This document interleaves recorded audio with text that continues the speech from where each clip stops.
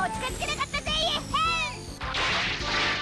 わあ私たちも近づけないよもう盲点だったしかもその上ドアから出られないからトイレにも行けないのなんてこった予兆金で作ったのに